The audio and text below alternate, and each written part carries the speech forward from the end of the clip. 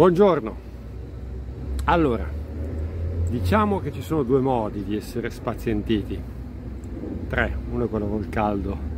Vabbè, però quello ce lo dobbiamo trascinare fino alla fine dell'estate, poi meno male, insomma, che c'è. Dai. E, ehm, dicevo, uno da società a giocatore, l'altro, che poi non è propriamente un modo di essere spazientiti, poi vi spiego perché tra società e società. Partiamo dal primo. La Juventus si sta spazientendo, diciamo così, nei confronti di Sule. Perché? Allora, l'offerta della Roma è arrivata a 29 milioni compresi bonus. La Juve vuole viaggiare dai 30 in su, o con bonus o con percentuale più bonus più o percentuale di futura rivendita. Quindi siamo, come dire, vicini all'offerta della Roma, ma non è ancora l'offerta che vuole la Juve. C'è una società che potrebbe spingersi oltre i 30, eh, quindi attaccandoci il bonus o la percentuale di futura rivendita, e sarebbe il West Ham nei confronti di Sule.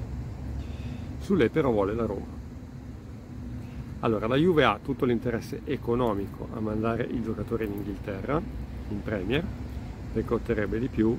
Sule invece vuole, non dovendo restare a Torino, non potendo restare a Torino, che era comunque la sua prima scelta, vuole andare alla Roma. La Juventus si sta un po', diciamo, innervosendo con il ragazzo questo che arriva, ossia vuole chiudere la questione molto alla svelta non vuole protrarla o tirarla per le lunghe. Quindi o la Roma va oltre e da Roma arrivano indiscrezioni di una possibilità o comunque di una considerazione della possibilità di andare oltre, ma nel breve, oppure se il giocatore rifiuta il West Ham potrebbe anche paradossalmente restare in bianco-nero col giocatore che resta in bianco-nero e so che farebbe la felicità di molti di voi e anch'io sarei contento di vedere Sule con la maglia della Juve, la Juve però non può, non può aprire altre trattative. Praticamente non dico che dovrebbe mollare la trattativa più importante, ma quasi, che poi è quella che porta a te un Cup Miners. Anche in questo caso però c'è una uh, sensazione di di pazienza, più che di pazienza, di eh, eh, necessità di accelerare. Eh, per Cassi lo avete sentito, aveva detto non è in programma la cessione di Cube Miners, non è talmente in programma che Cube Miners è d'accordo con Juve per uno stipendio quinquennale di 4 milioni, mentre l'Atalanta prende 2 milioni e mezzo. Quindi per Cube Miners l'affare si può fare in qualunque momento, ma decide l'Atalanta che non si schioda e non fa sconti, nonostante i tentativi della Juve, rispetto ai 60 milioni richiesti inizialmente. Cifra che la Juve potrebbe eventualmente iniziare a conteggiare vendendo appunto Sule, vendendo Chiesa, vendendo Wisen. Wisen, come abbiamo scritto anche sul nostro sito di Sport Mediaset, sarebbe negli interessi del Marsiglia, di De Zerbi. Non so quanto possa essere attirato dalla prospettiva di andare a giocare in Ligan. È vero che avrebbe un tecnico comunque italiano, anche se lui non è italiano ovviamente, ma comunque è un tecnico conosciuto, molto ambizioso. Eh, se l'ha richiesto De Zerbi significa che la sua intenzione è quella di farlo giocare e quindi potrebbe diventare titolare la valutazione 20 milioni minimo fatta dalla Juve. Su Miners, perché ho parlato di pazienza o comunque necessità di fare alla svelta? Perché c'è un precedente e riguarda l'interessamento che Giunto ebbe nei confronti del giocatore l'altro anno, quando Giunto era al Napoli ci si provò da parte del Napoli a prendere Club Miners, ma l'offerta arrivò tardi, dopo la metà di agosto.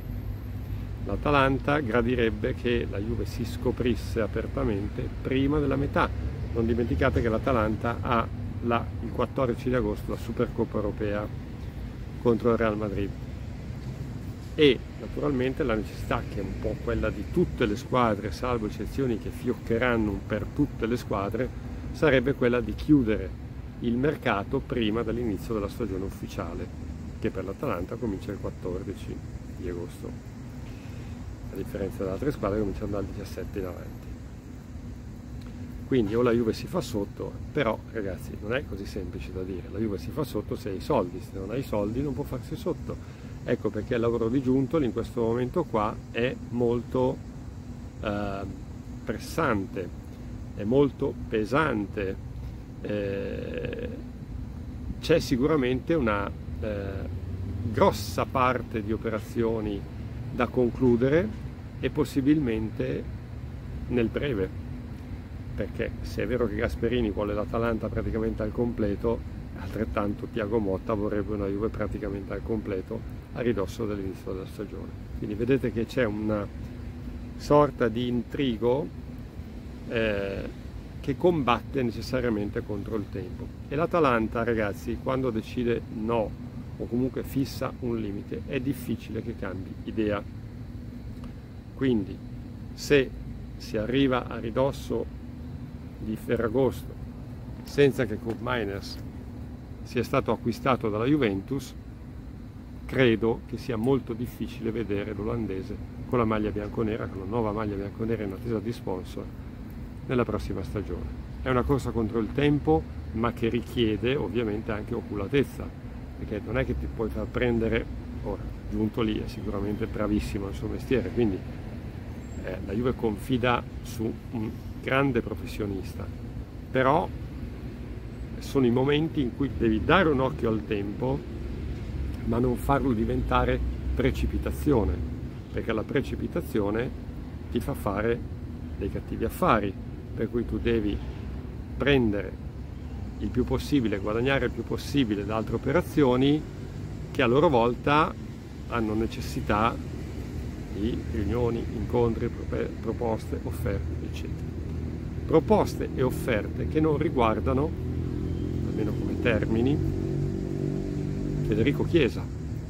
L'unica offerta che gli era arrivata, o meglio proposta, era stata quella di rinnovo della Juve ad una eh, ad uno stipendio più basso rispetto ai 5 milioni e mezzo. Sul tavolo di Giuntoli, ad oggi, mentre vi sto parlando, non è arrivata nessuna offerta concreta per Federico Chiesa, né da parte della Roma a suo tempo, né da parte del Napoli per restare in Italia, né da parte di squadre straniere e cito ancora una volta il Bayern di Monaco che aveva fatto un sondaggio, nemmeno da parte del Manchester United ad ora che sarebbe una delle squadre gradite e secondo me la più consona per far esprimere Federico Chiesa.